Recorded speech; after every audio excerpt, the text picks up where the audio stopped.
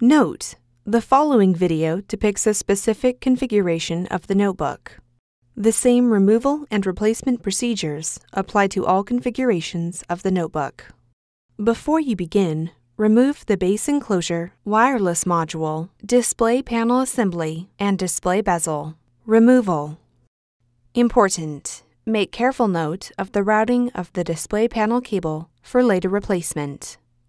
Remove the four 2.5mm P1 Phillips head screws that secure the display panel to the display enclosure. Lift the display panel off of its alignment pins on the display enclosure and place it in front of the display enclosure.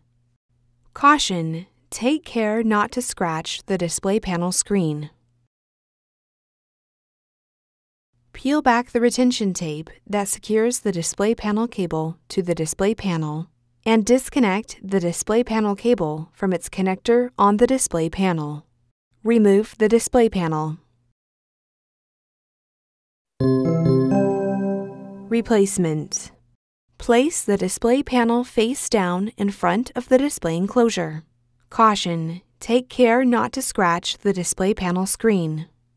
Connect the display panel cable into its connector on the display panel and replace the retention tape.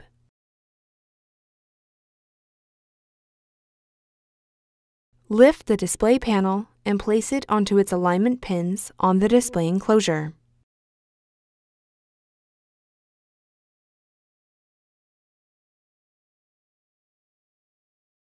Replace the four 2.5mm P1 Phillips head screws that secure the display panel to the display enclosure. Route the display panel cable through the routing channel on the display enclosure.